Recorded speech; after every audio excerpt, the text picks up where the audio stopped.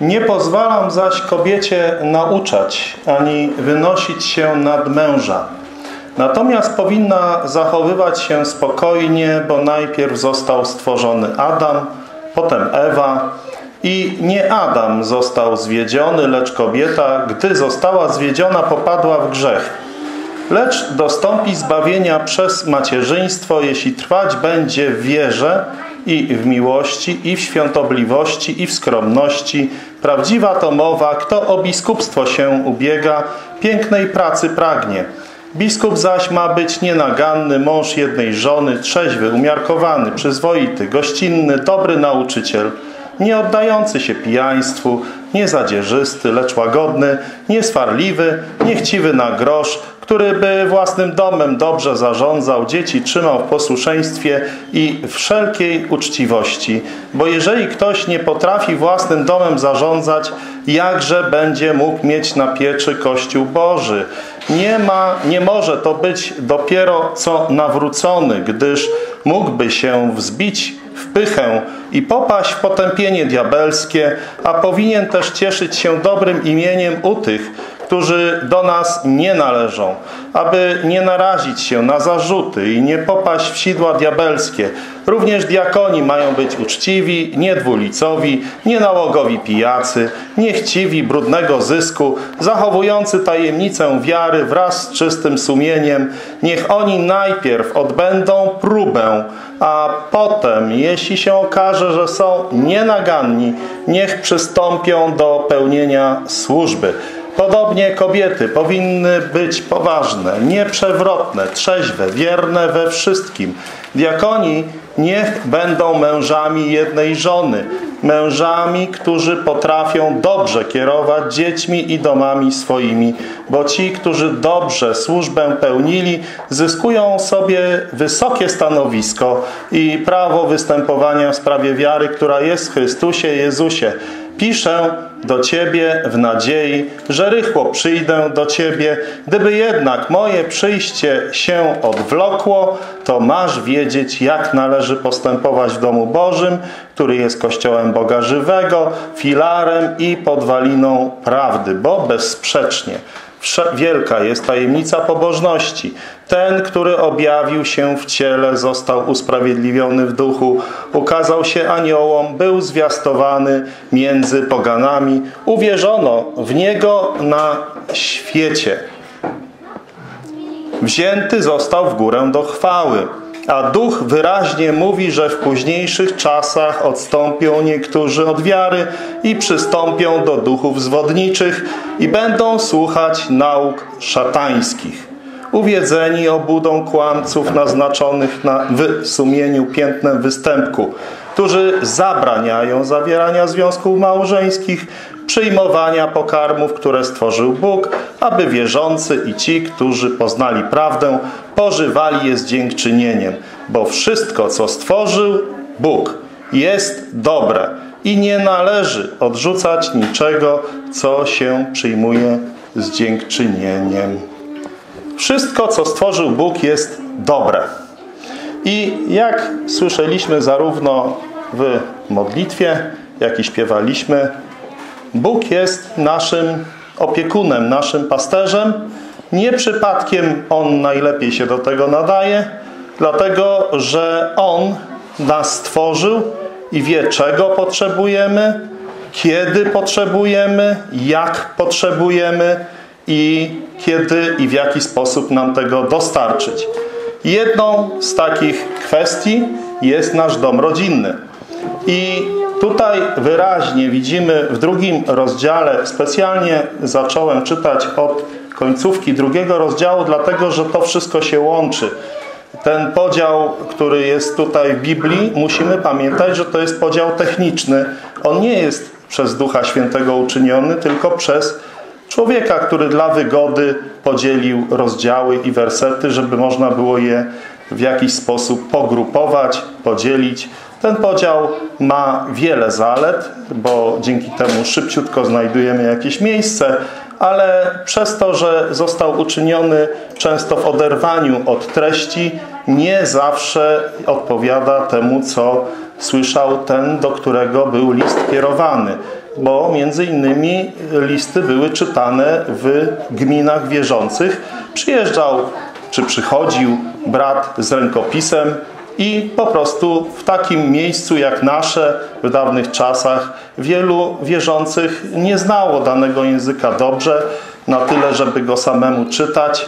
Niektórzy y, znali go w sposób bieglejszy, niektórzy w bardzo biegły, ale też były potrzeby takie y, finansowe. Żeby mieć swój rękopis trzeba było być wyjątkowo zamożną osobą, gdyż taki na przykład pergamin to była skóra zrobiona ze zwierzęcia i to nie było wcale tanie.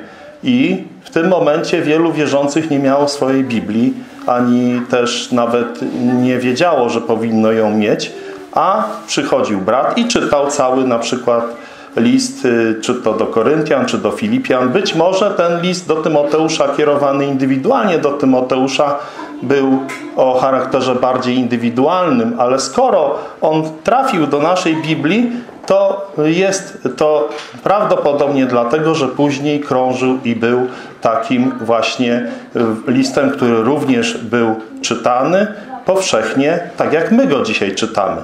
Więc pamiętamy, on jest skierowany do konkretnego człowieka, ale do człowieka, który został, jak widzieliśmy w 15 wersecie, ustanowiony przez apostoła Pawła pewnego rodzaju takim wysłannikiem na czas, gdyby odwlokło się, gdyby spóźnił się apostoł Paweł, gdyby jednak przyjście moje się odwlokło albo opóźniło, bo Paweł planował tam być, ale y, zakładał, że jest duże prawdopodobieństwo, że jednak na czas nie będzie i awaryjnie ten tutaj list wysłał Tymoteuszowi, aby się zabezpieczyć, aby praca pańska była wykonana, nawet gdyby się spóźnił. Żeby nie było tak, że z powodu tego, że on się opóźnił, są jakieś zaniedbania.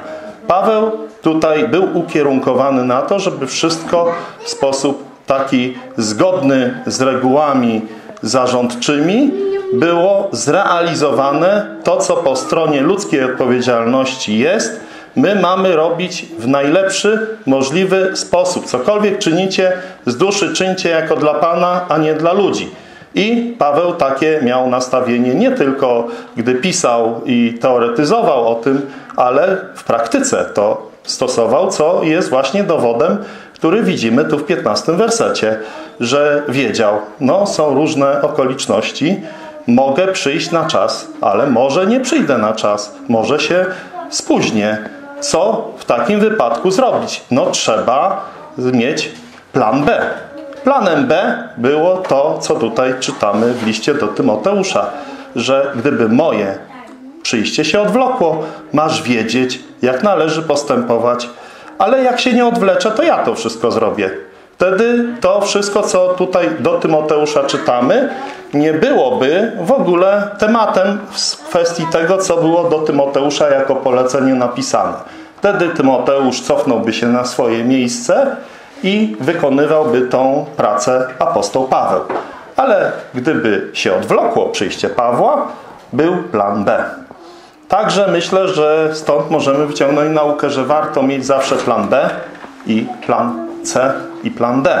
Oczywiście nie należy przesadzać, żeby mieć aż do planu Z, bo wtedy możemy popaść w różnego rodzaju y, po prostu no, zamieszanie sami z sobą.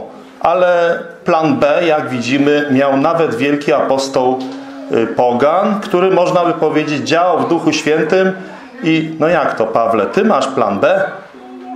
Przecież wystarczy, że się pomodlisz i Pan Ci objawi, czy Ty tam będziesz na czas, czy nie będziesz na czas.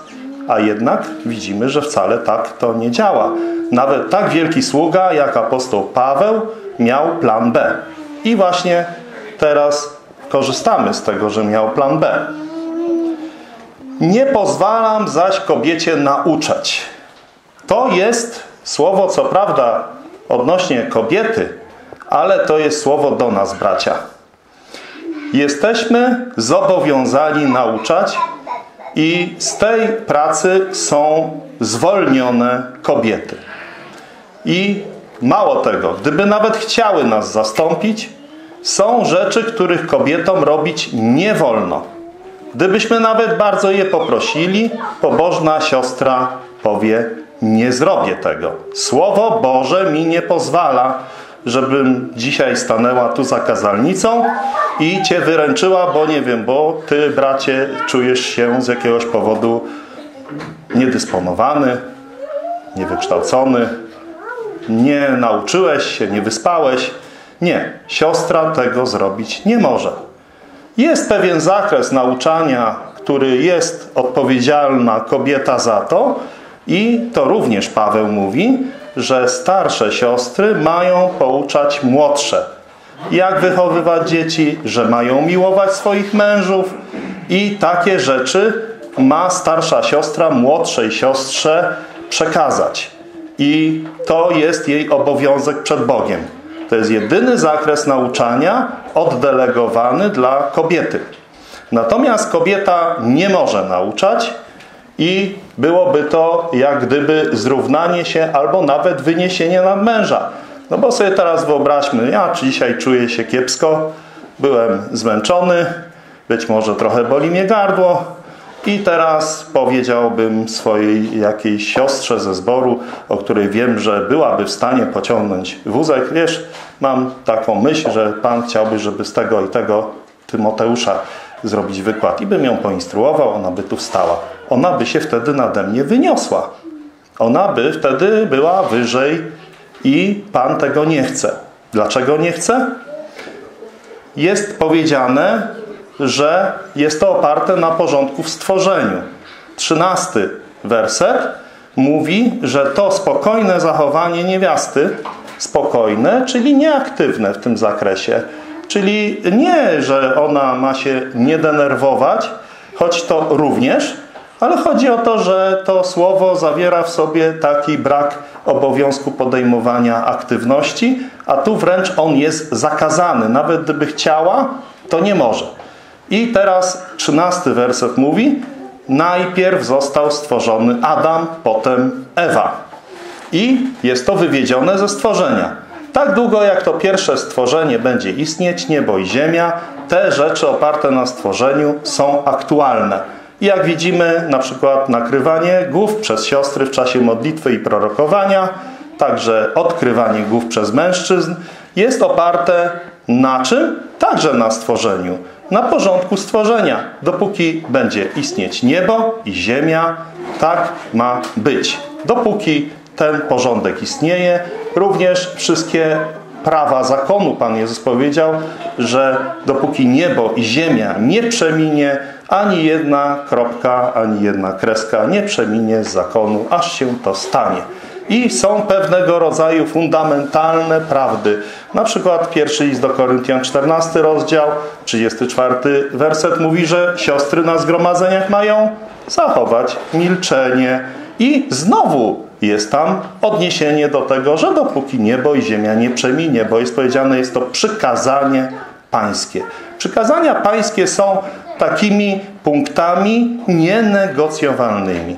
I one są albo do przyjęcia, wtedy czczę Boga, albo do odrzucenia, znaczy, że Boga lekceważę. I nie ma tutaj punktu szarości. I nie Adam został wprowadzony w błąd, czy zwiedziony, takie stare słowo jest tu użyte, zwiedziony, lecz kobieta, gdy została zwiedziona, popadła w grzech. Taki był fakt w Eden wąż rozmawiał z naszą pramatką Ewą i doprowadził do jej tutaj działań, które nie były zgodne z zaleceniami bożymi. Do tego się tutaj odwołuje to polecenie. I teraz, jeżeli my jako mężczyźni zostaliśmy sami na tym polu zobowiązań wobec Pana, że mamy przekazywać naukę Słowa Bożego i jeżeli my jesteśmy na tym gruncie sami, to nie mamy być ospali. Mamy ten obowiązek traktować poważnie. Jeśli kobieta ma się nie odzywać w zborze, to chwilę później jest powiedziane, że jeśli czegoś nie wie, niech się dowie w domu od męża. A jeśli jest panną, logiczne na podstawie zakonu, że od ojca. Bo jest taki fragment ze słowa ze Starego Testamentu, gdzie jest powiedziane, że jeśli kobieta złoży jakiś ślub wobec wierności wobec Pana, to jeśli mąż się dowie o tym, to może to odwołać. Ale jeśli to jest panienka, to ojciec może odwołać ten jej ślub. I to jest analogia do tego, że pewne funkcje ma w domu ojciec i mąż, którymi może tutaj w sposób taki zwalniający kobietę z odpowiedzialności, gdyby jej się pośpieszyło w niektórych kwestiach uczynić. I teraz piętnasty werset. Piętnasty werset jest często takim punktem, który mówi, że y, zbawienie jest z uczynków. Bo jest tu słowo z uczynków, zbawienie i piętnasty werset mówi, że kobieta dostąpi zbawienia przez macierzyństwo lub jak mówi Gdańska, przez rodzenie dzieci, jeśli trwać będzie wierze i w miłości, i w świątobliwości, i w skromności. Słowo zbawienie nie zawsze znaczy zbawienie od piekła. I tutaj ono właśnie nie znaczy zbawienia od piekła. Zbawienie ma różnego rodzaju znaczenie w zależności od kontekstu. I na przykład, gdy czytamy, że nie zdążą apostołowie obejść miast Izraela, nim Syn Człowieczy przyjdzie, ale kto wytrwa do końca, ten będzie zbawiony, to tam akurat słowo zbawienie nie dotyczy zbawienia od piekła, tylko dotyczy tego, że zachowają swoje życie jako zdobycz. Stary Testament często używa takiego sformułowania, że zachowa swoje życie jako zdobycz. Czyli po prostu, po prostu do końca z tego ucisku przeżyje i doczeka osobistego, naocznego zobaczenia, gdy Pan Jezus przyjdzie na, niebo, na ziemię z nieba ustanowić nowe przymierze z Izraelem i Judą. I to ma takie trzy wystąpienia, bo są w Mateusza dwa razy i o ile dobrze pamiętam, chyba w Marka raz. I to jest przykład, gdy zbawienie nie dotyczy tego zbawienia od piekła.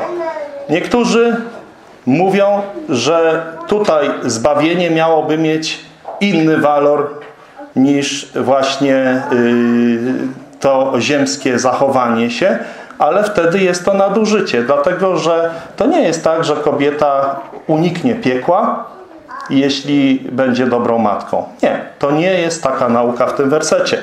Będzie uratowana po prostu od wszelkich niedogodności związanych między innymi z tym, co jest opisane w 13 i 14 wersecie, przez to, że jako matka będzie realizować swoje obowiązki.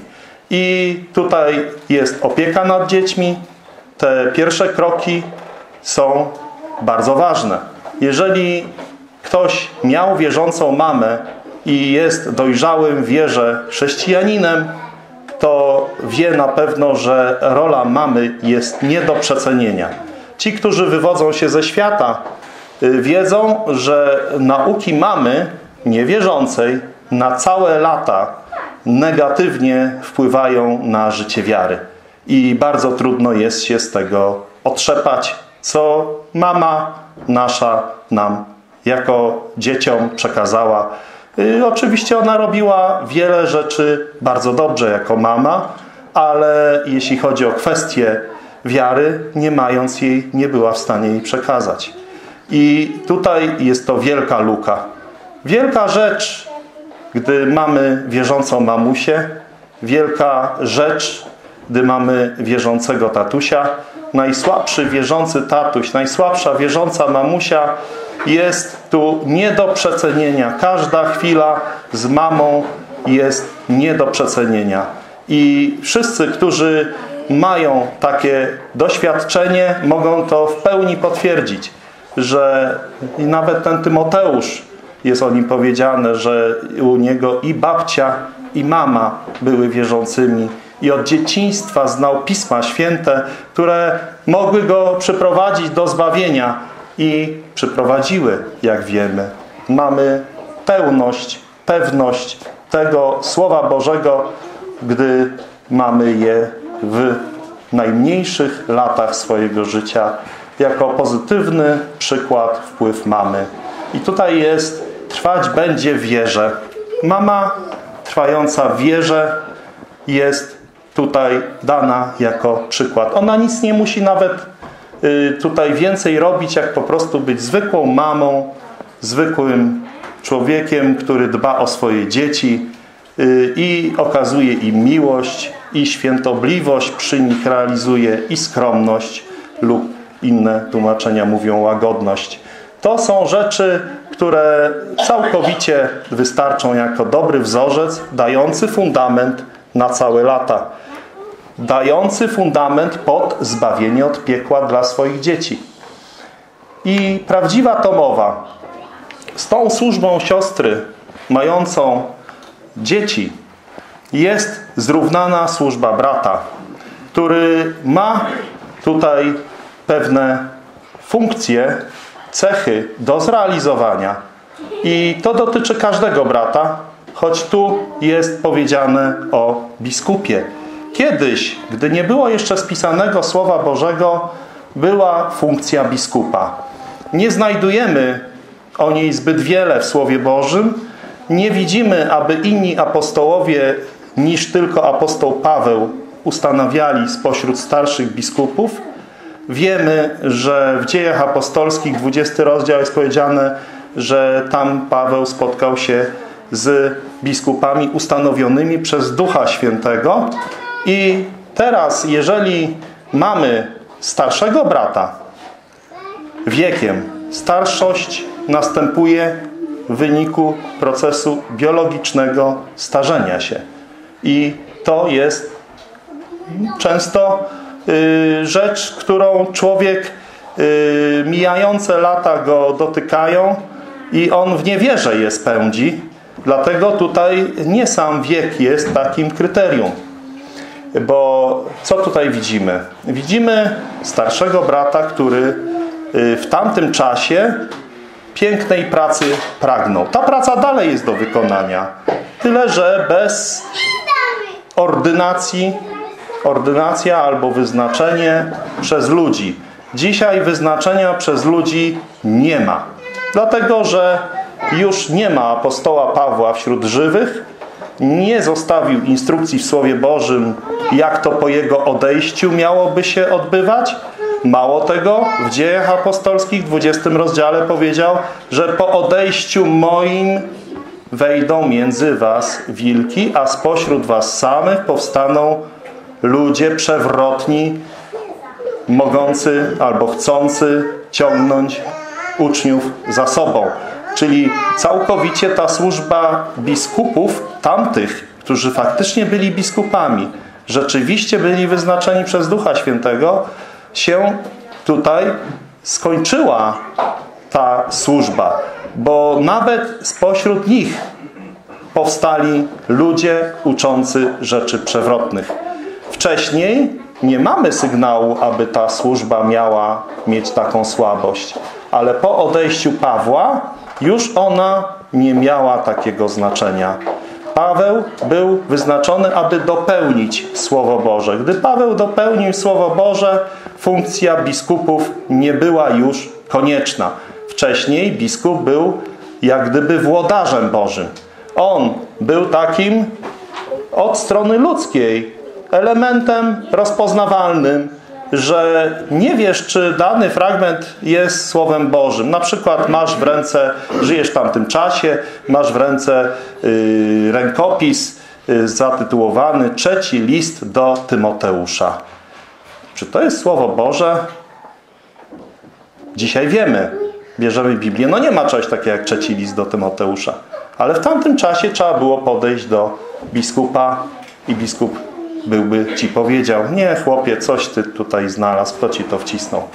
I biskup był takim właśnie punktem, dopóki nie było spisanego Słowa Bożego, którym mógł właśnie być takim, który tą władzę miał nie tylko w sposób właśnie od takich zwykłych potrzeb, że on umiał tą pracę wykonywać, a ona jest do wykonania, ale również miał taki autorytet y, wyraźnie zaznaczony przez apostoła Pawła, że tutaj słuchajcie, macie tego brata, tamtego brata i tego brata, my wyznaczyliśmy ich na biskupów, możecie do nich sięgnąć. Dziś takiego czegoś nie ma. Nie przyjeżdża nikt z Warszawy, z Nowego Jorku i nie powie, o tutaj ten brat, tamten brat jest biskupem i trzymajcie się zdrowo, jedziemy. Nie ma takiej służby, ordynacji, ona już nie istnieje. Natomiast praca do wykonania jest. Jest za nią odpowiedzialny każdy brat, szczególnie brat starszy wiekiem i spełniający te funkcje może być tutaj bardziej ukierunkowany na tą służbę. Biskup ma być nienaganny. Bardzo wysokie wymaganie, ale do spełnienia. Nienaganny. Mąż jednej żony. Także bardzo trudne. Przecież czy ja mogę mieć wpływ na to, że Bóg podaruje mi żonę? A co jeśli byłbym singlem, bo Bóg mi nie dałby żony? No nie mógłbym tej służby wykonywać. Tu jest powiedziane, mąż jednej żony. Nie przypadkiem. Trzeźwy, czyli taki, który zarówno tą trzeźwość zachowuje niezależnie od różnego rodzaju środków chemicznych czy innych, ale generalnie nawet bez środków pobudzających niektórzy trzeźwości nie potrafią utrzymać. I taki człowiek ma być trzeźwy, jeśli ma tą pracę wykonywać. I dalej, umiarkowany, czyli nie przesadzający ani w prawo, ani w lewo. Nikt z nas tego nie umie, ale tu jest to wymagane i z wiekiem my się coraz bardziej przybliżamy do tego umiarkowania i możemy wtedy wiedzieć, po co się przybliżam do tego umiarkowania? No po to, żeby móc wykonywać tą piękną pracę która jest do wykonania. Dziś biskupów ordynowanych nie ma, ale ktoś tą pracę wykonać musi. I ta praca jest i konieczne jest, żeby bracia podejmowali się wysiłku, żeby tą pracę po trochę wykonywać. I zawsze było kilku biskupów w zborach i dzisiaj, gdy nie ma ordynacji, także wśród braci ta praca jest podzielona. To nie jest tak, że jest to na barkach jednego, Chyba, że jest bardzo mały zbór i jest to sytuacja wyjątkowa. Ale wtedy jak najszybciej ten brat niech pracuje, żeby było więcej niż jeden. Żeby było więcej niż dwóch. Żeby było więcej niż trzech, jeśli da się. I teraz kolejna rzecz. Przyzwoity, gościnny, dobry nauczyciel. Dobry nauczyciel, czyli nauczyciel dobrych rzeczy, to jest taki, który ze Słowa Bożego umie wyciągać stare i nowe rzeczy. Czyli wiemy, że powinien dobrze znać Słowo Boże, powinien znać zarówno warstwę dotyczącą faktów, czyli orientuje się, gdzie co jest napisane, ale także, który to zawsze używa ku temu, żeby daną sytuację w życiu wierzących w jakiś sposób y, doprowadzić do lepszego stanu niż była przed jego przemową. Nie zawsze się to udaje, nie zawsze się to udaje we wszystkich, ale jeżeli patrzymy na Słowo Boże, to też wiemy, że wiara nie jest rzeczą wszystkich i że każdy w różnym tempie idzie za Panem. Jedno kazanie będzie tylko dla 2% społeczności, inne kazanie będzie dla połowy słuchaczy, inne kazanie może być dla 90% słuchaczy użyteczne. Nie ma takiej możliwości, żeby jakieś kazanie osiągnęło serca 100% słuchających. I to nawet gdy jest szczera chęć po obu stronach. Po prostu takie kazania nie istnieją i nie oddający się pijaństwu. Tu już jest wprost powiedziane, że nie używający w nadmiarze środków odurzających. I jeśli chodzi o to, to wszystkie używki zmieniające tożsamość są tu zawarte. Niezadzierzysty. Jakże polska cecha. Trzech Polaków, cztery zdania. Czyli Ja, nawet jak jest wszystko jasne i można przykryć daną sprawę na zasadzie takiej, że no owszem, są drobne różnice, po co to roztrząsać, to zadzierzysty człowiek będzie szukał dziury w całym. I nie chodzi o doktrynę, bo my mamy pilnować czystości doktrynalnej. Tu chodzi o też wymieniony przez apostoła Pawła spór o wyrazy.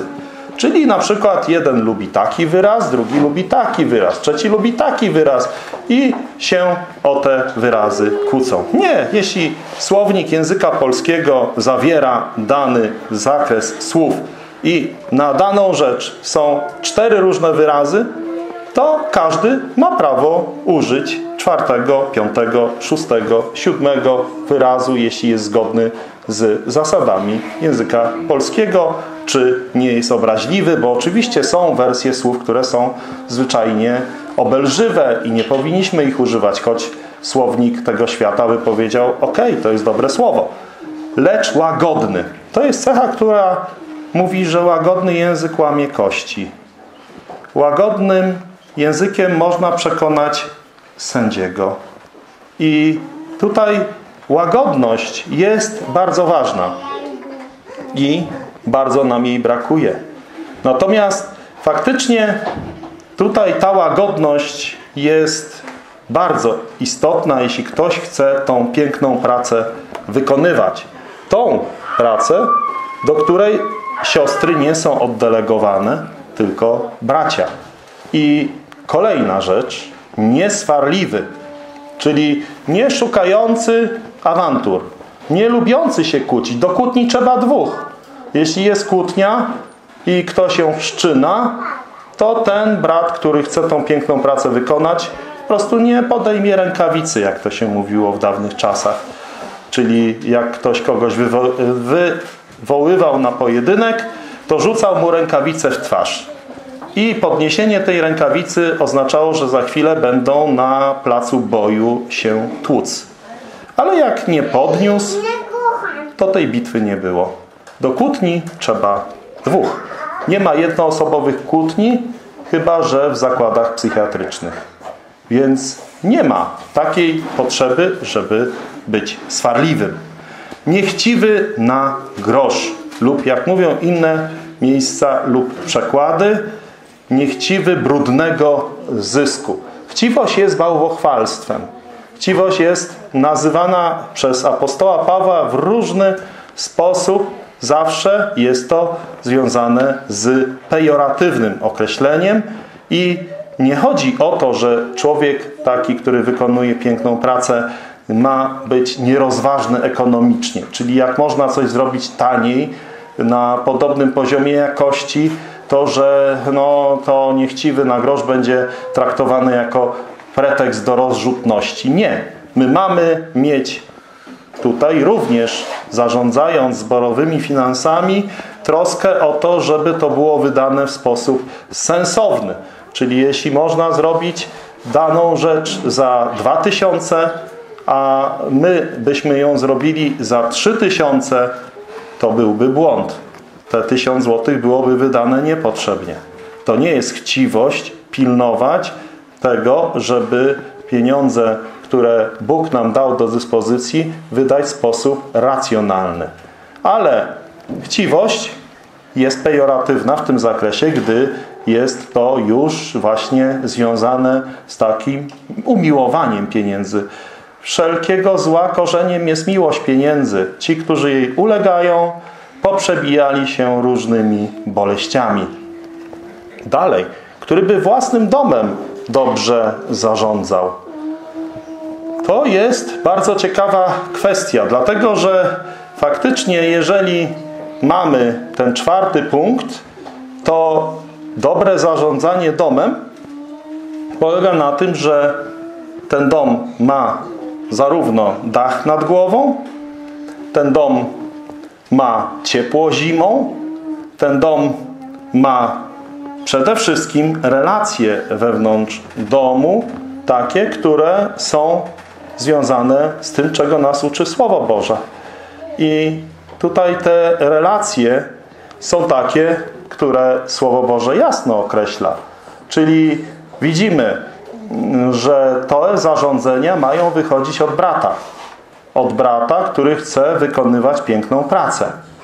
Te zarządzenia, jeżeli wychodzą od brata, to on jest za nie w domu odpowiedzialny. Jeżeli te zarządzenia jego są i są dobre, oparte na Słowie Bożym, to również było widać, że taki Tymoteusz, który z zewnątrz miał to ocenić, był w stanie to widzieć. Natomiast jeżeli jest tutaj zaniedbane, to efektem są kwestie takie, że nie ma podstaw do wykonywania tej pięknej pracy.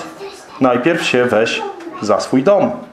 Najpierw zrób porządek u siebie, a potem będziesz się wtrącał w dom Boży. Tak ta lekcja nam to mówi. I dalej, dzieci trzymał w posłuszeństwie. Nie każde dziecko jest aniołkiem, jak to mówią przysłowiowo. Większość dzieci jest rozwydrzona, bo Aaron dopuścił je do rozwydrzenia. Tak jest napisane w Starym Testamencie. I zarzut, że lud był dopuszczony do rozwydrzenia, padł na Arona. I ja pamiętam, kiedyś był taki brat między nami. On miał dzieci przede mną 5 lat wcześniej. I te jego dzieci wszystkie są pobożne, wszystkie idą za Panem, są aktywne w służbie zborowej.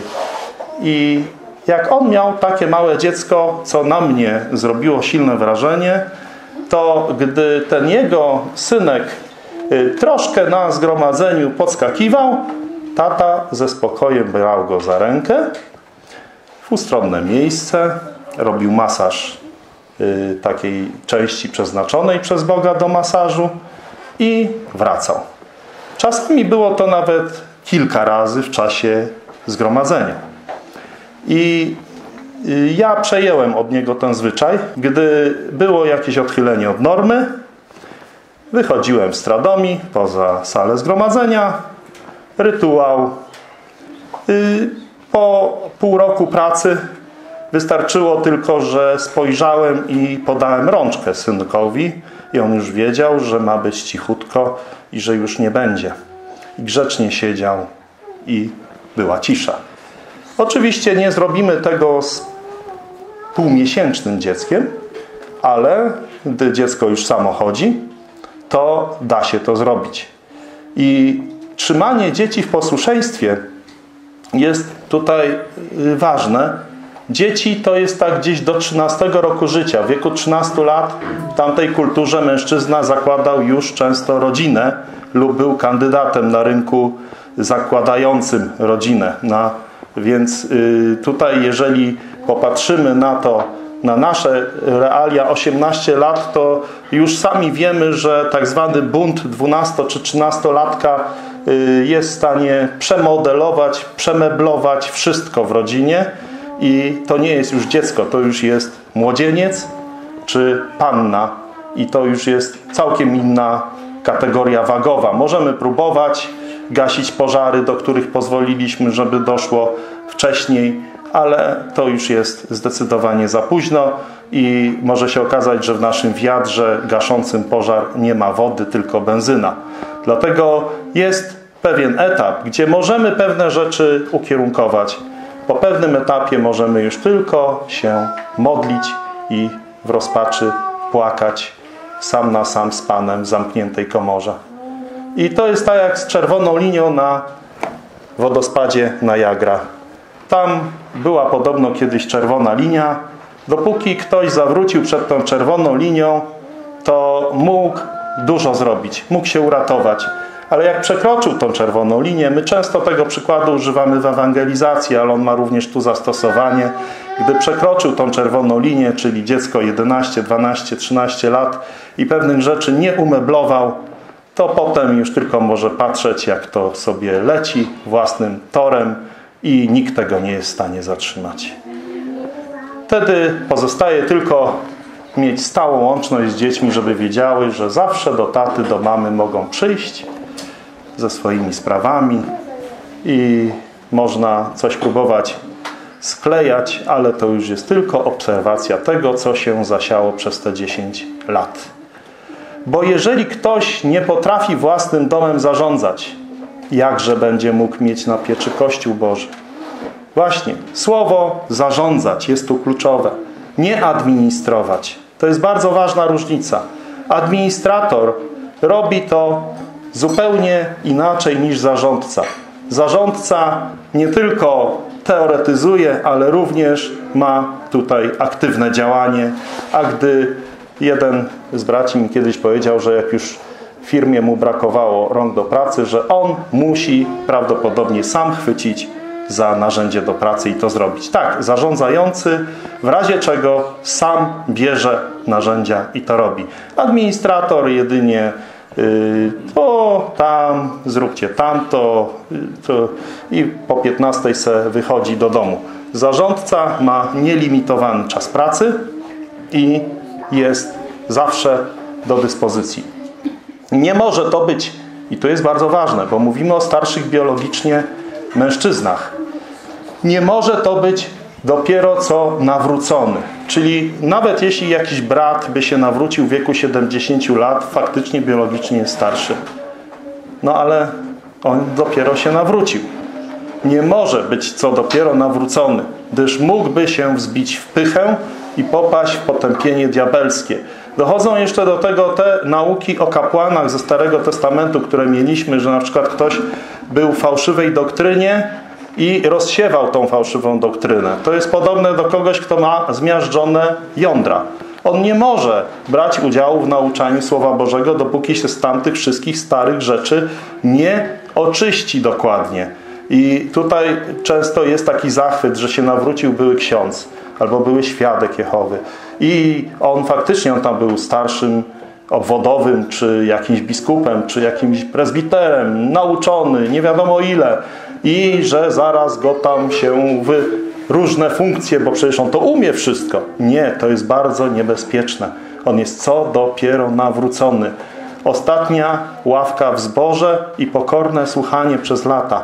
Nie może taki człowiek brać udziału, gdyż jest co dopiero nawrócony. To jest bardzo niebezpieczne. I dalej widzimy ciekawą rzecz. Potępienie diabelskie. To jest bardzo szeroki temat, ale pokazuje pewną kwestię. Kiedy diabeł został potępiony? Co doprowadziło do potępienia diabła? Widzimy to w Starym Testamencie, że on w pewnym momencie postanowił się wynieść nad Boga. I to jest właśnie to, że o ile mamy młodego człowieka, który rośnie w zborze po nawróceniu, nawrócił się i rośnie, kolejne kroki robi w zborze, w cierpliwości, w łagodności, przyjmuje wszczepione w niego Słowo Boże, sam studiuje Słowo, plus y, bierze udział w zgromadzeniach, regularnie nasiąka jak gąbka tym Słowem Bożym, to ten człowiek zaczyna rozumieć, na czym Słowo Boże polega i jak je realizować. Ale jeśli byśmy mieli takiego człowieka, który gdzieś tak z ulicy, super wykształcony, jakiś, czy to właśnie były pastor, były ksiądz, przychodzi, nawrócił się przedwczoraj, on to wszystko umie, Biblię zna na wylot, ale według tej teologii, w której przedtem dla diabła służył. I nagle byśmy go popuścili tutaj Y, to on właśnie miałby bardzo, bardzo, bardzo dużo takiej energii religijnej, niebezpiecznej, wynoszącej się nad Słowo Boże. Bo te wszystkie kulty bazują nad tym, że się wyżej Słowo ludzkie traktuje niż Słowo Boże. Jest to czyste potępienie diabelskie. Właśnie to jest diabelska chęć niesłuchania Boga. Ja jestem ważniejszy niż Biblia, mówi diabeł. Ja jestem ważniejszy niż Słowo Boże, mówi diabeł. I tak mówi też taki, kto w takie potępienie wpadł. Moje Słowo jest to Słowo Boże na dzisiaj, a Biblia to jest Słowo Boże na wczoraj. Taki człowiek w swoim sercu mówi. I to jest bardzo niebezpieczne. A powinien też cieszyć się dobrym imieniem u tych, którzy do nas nie należą aby nie narazić się na zarzuty i nie popaść sidła diabelskie. To jest bardzo ciekawy fragment. Dlatego, że o ile jeszcze dzisiaj moglibyśmy znaleźć takich ludzi, którzy spełniają punkty od 1 do 6, to z powodu rozbicia chrześcijaństwa nie ma takiego brata czy siostry, który mógłby się cieszyć dobrym imieniem u tych, którzy do nas nie należą. A ponieważ to zalecenie dotyczy braci, to nawet gdyby istniała ordynacja, nawet gdyby było gremium wyznaczające według tych zasad biskupów, to punkt siódmy by powiedział, że nikt się nie łapie, bo ja nie mam dobrego imienia u świadków Jehowy. Oni do nas nie należą. Ja nie mam dobrego imienia u rzymskich katolików. Oni do nas nie należą. Albo ktoś mnie nie zna, albo mnie kocha, albo nienawidzi. Nie ma neutralnego gruntu, jeżeli jestem aktywny w służbie Słowa Bożego. Po prostu ten obszar szarości nie występuje w przypadku kogoś, kto chce żyć pobożnie w Chrystusie. Jeśli chcesz głosić Słowo Boże publicznie, za chwilę się okaże, że jedni są po stronie czarnej, a drudzy po stronie białej. I szara część w ogóle nie istnieje. Dlaczego? Bo jest rozbicie w chrześcijaństwie. Oni wszyscy się mienią chrześcijanami i nie należą do nas, a mają bardzo złe zdanie o nas. I to jest naturalna rzecz, że nie ma ordynacji, nawet gdyby istniała, to punkt siódmy by powiedział, że nie ma ani jednej takiej osoby, która by te punkty spełniała. I również diakoni, tu się te kryteria powtarzają, mają być uczciwi, niedwulicowi, nienałogowi pijacy, niechciwi brudnego zysku, zachowujący tajemnicę wiary wraz z czystym sumieniem. Niech oni najpierw odbędą próbę. To też jest bardzo ważne. Próba jest kluczowa. Jeżeli ktoś jest wypróbowany w tych małych rzeczach, czyli mamy jakąś rzecz do zrobienia, na przykład posprzątać salkę w zgromadzeniu miałby zrobić jakiś brat. Albo miałby zająć się zorganizowaniem tego lub owego i on to zrobi. No to przeszedł próbę. Potem jest kolejna rzecz, przeszedł próbę. Kolejna rzecz, przeszedł próbę. No ale jeżeli mamy do czynienia z kimś takim, kto chcemy to, nie wyszło. Dobra, są przypadki, nie wyszło. Kolejna rzecz, no nie wyszło. Kolejna rzecz, nie wyszło, więc nie przeszedł próby. Nie jest wypróbowany. Marek, który z apostołami poszedł, zdaniem Pawła, nie przeszedł próby, zdaniem Barnaby, łapał się na drugą szansę. Więc takie kwestie są oczywiście etapem uczenia.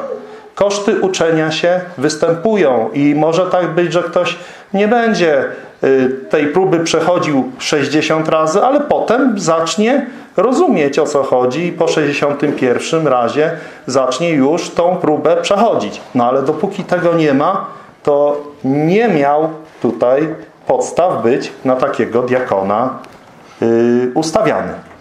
No i podobnie kobiety mają być poważne, powinny być poważne. Czy siostro, jesteś poważna? To nie znaczy, że się nie uśmiechasz, bo inne słowo mówi, że zawsze się radujcie. Powtarzam, radujcie się. W Panu radujcie się. Więc radość ma być. Radość powiązana z powagą. Czy poważnie podchodzimy do tego, co Pan nam zlecił? Nieprzewrotne. Co to znaczy nieprzewrotne? To znaczy, że jak coś się na tobie oprze, to nie przewróci się. Czyli jeśli twoje tak równa się nie, to jesteś przewrotna. Jeśli twoje tak równa się tak, twoje nie równa się nie, to wtedy jest szansa, że nie jesteś przewrotna. Trzeźwa. Czyli nic nie jest podejmowane w emocjach, jeśli chodzi o służbę pańską. Czyli jest tutaj bardzo ważne. Dlaczego ja to robię dla Pana? Nie, o, mam dzisiaj różowy dzień, różowe okulary i się rzucam na rzeczy, które mnie przerastają. To nie jest trzeźwe. Trzeźwe jest przeliczyć koszt, umiem zbudować wieżę, mam środki na wieżę, buduję wieżę, wychodzi wieża. A nie, że potem y, trzeba mnie zeskrobywać z podłogi albo na przykład trafiam na ojom, bo się przepracowałam. To nie jest trzeźwość. Trzeźwość zakłada to, że też nie stosuję wypychania. Co to jest wypychanie? Gdybym ja teraz y, zorganizował każdemu z was pomoc i zamiast chodzić, nosiliby was służący. Zamiast y, jeść, to do buzi łyżeczką karmiliby was pomocnicy i tak dalej. Wszystko by robili za was pomocnicy. To po pewnym czasie nie umielibyście tych funkcji. I tak samo jest, jeżeli nietrzeźwa siostra bierze na siebie za dużo. Jak młoda siostra ma się tego nauczyć? Albo druga siostra w twoim wieku, jak ma się tego nauczyć, jeśli ty wzięłaś na siebie za dużo? To jest efekt wypychania. To nie jest trzeźwe. Trzeźwe jest wtedy, kiedy praca jest podzielona trzeźwo, tak, że się nie przepracowuje, Słowo Boże mówi, aby mając wszystkiego pod dostatkiem móc łożyć na wszelką dobrą sprawę. Dotyczy to i pieniędzy, i czasu. Czyli mam nadmiar czasu, tak dużo, że mogę go hojnie udzielić, to go daję. Ale nie jest tak, że ja mam teraz za mało czasu. Śpię po 6 godzin i jeszcze biorę robotę, która mi zabierze 4 godziny z doby. To nie jest trzeźwe. Wierne we wszystkim. Wierność zakłada stałość. Czyli, że mamy być tacy, jak mówi Słowo Boże, we wszystkich aspektach. Czyli nie jest tak, że ja sobie wybieram fragment Słowa Bożego, który mi się podoba, a drugi fragment Słowa Bożego lekceważę. Albo troszkę słabiej do niego się przykładam. Dlatego, drogie siostry, studiujcie Słowo Boże, tak byście były wierne we wszystkim. Bo ta praca jest ogromna, jest do wykonania, ale wymaga waszej wierności we wszystkim. Nie tylko w małym, nie tylko w dużym, ale we wszystkim. Diakoni niech będą mężami jednej żony, mężami, którzy potrafią dobrze kierować dziećmi. Znowu się to powtarza. I domami swoimi. Bo ci, którzy dobrze służbę pełnili, zyskują sobie wysokie stanowisko i prawo występowania w sprawie wiary, która jest w Chrystusie Jezusie. Piszę do Ciebie w nadziei, że rychło przyjdę do Ciebie. Gdyby jednak przyjście moje się odwlokło, masz wiedzieć, jak należy postępować domu Bożym, który jest Kościołem Boga żywego, filarem i podwaliną prawdy. Kościół jest takim miejscem, gdzie my tą prawdę mamy dać na widok. Czyli filar to było takie miejsce, do którego można było przybić ogłoszenie. I tak samo my mamy powodować, że jako zgromadzenie czynimy tą prawdę znaną w okolicy, w której jest zbór. Właśnie dlatego jesteśmy porównani do świecznika. Świecznik świeci, nie jest ukryty. Czyli my tu jesteśmy nie dla siebie, nie dla zboru, ale dla tego, że mamy dawać informacje światu dookoła o prawdzie. Podwalina prawdy także oznacza, że my mamy o tą prawdę dbać żeby ona była w czystości, zgodnie ze Słowem Bożym, tutaj podtrzymywana, żebyśmy nie tworzyli sekciarskiej nauki, tylko taką, która jest zgodna ze Słowem Bożym. I szesnasty werset mówi, że ten, czyli Bóg, objawiony w ciele, czyli Pan Jezus Chrystus, jest treścią tej prawdy. Został usprawiedliwiony w duchu, Ukazał się aniołom, był zwiastowany między poganami, uwierzono w Niego na świecie, wzięty został w górę do chwały.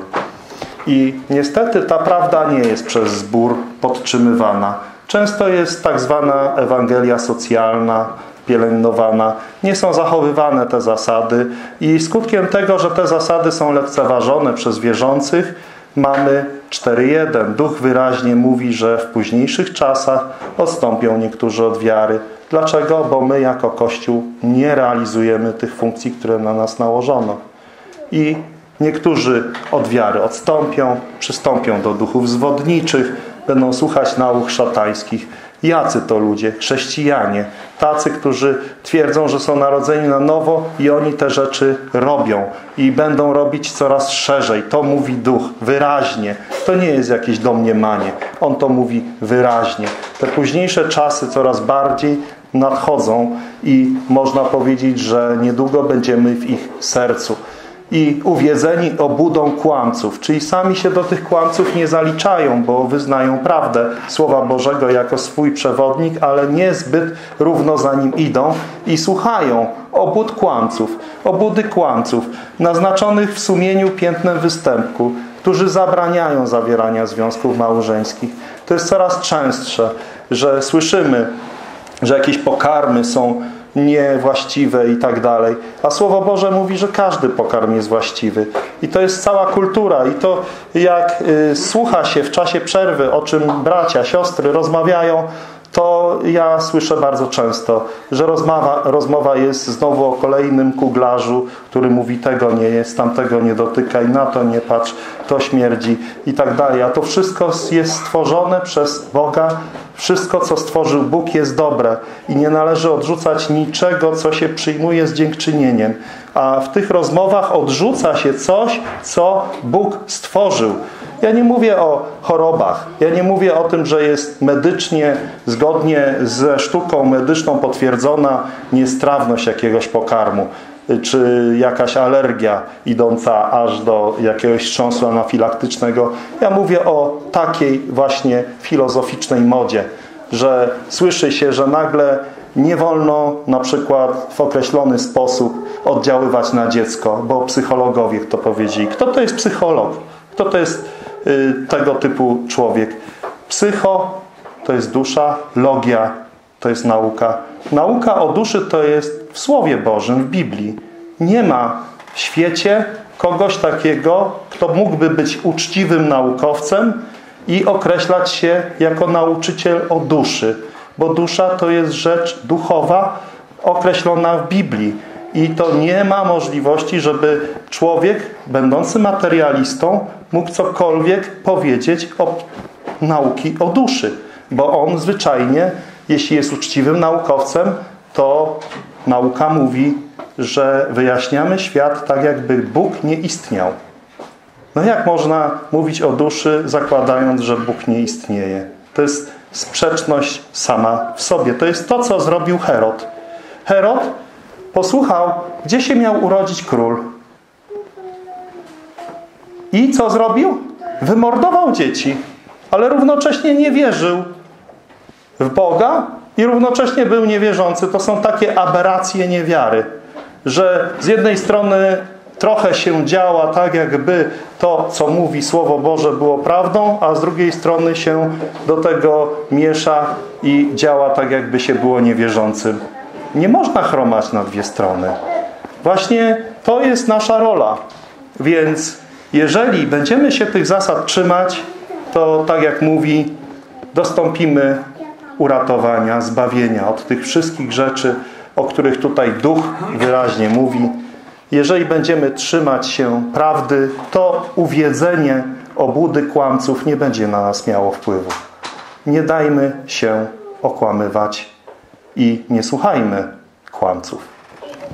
Więc Słowo Boże jest prawdą na dziś i na wieki. I możemy Mu w pełni zaufać. Dlatego w pełni pamiętajmy o tym, żeby Mu się w całości podporządkować, nie zbaczając ani w prawo, ani w lewo. Słowo Boże wyraźnie mówi, że spośród starszych byli ustanawiani biskupi. Potwierdzenie tego mamy w nowej książce, która została wydana niedawno Kościół Boga Żywego. I bardzo zachęcam, żeby bracia zapoznali się z argumentacją brata, który tą książkę przygotował, gdyż włożył wiele pracy i wysiłku i jest tam wyraźnie powiedziane, że y, to spośród starszych biologicznie mężczyzn byli powoływani kandydaci na biskupów. I nie zmienia to niczego. Dzisiaj nie ma ordynacji y, spośród starszych na biskupów, nie ma kleru, nie istnieje kler. Biskup znaczy doglądający, starszy znaczy biologicznie starsza osoba. Starsza siostra nie jest biskupicą. Skoro starszy równa się biskup, to starsza równa się biskupica. I wtedy ten fragment, że starsze siostry mają pouczać młodsze, czytamy biskupice niech pouczają młodsze. Słowo Boże nie ma takiej nauki. Starszy znaczy starszy wiekiem, bo ma więcej lat niż miał wcześniej i ma więcej lat niż ten, komu przekazuje naukę. Młodszy to jest ten, kto ma mniej lat niż ten, kto ma więcej lat. Tak Słowo Boże w sposób naturalny to używa. Temu, kto nas tak wciąż